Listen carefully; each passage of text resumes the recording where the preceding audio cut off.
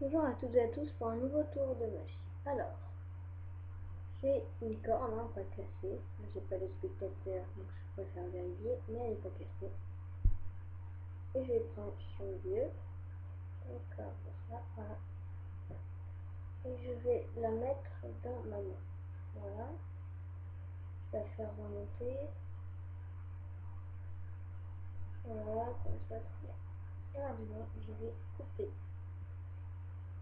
Voilà, là c'est coupé. Hein. Là,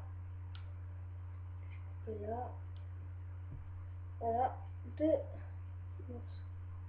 morceaux. Et là, je vais souffler. Et la corde sera reconstituée. Et voilà ma corde qui n'est plus cassée. Merci d'avoir regardé ma vidéo et à bientôt pour de nouveaux magie.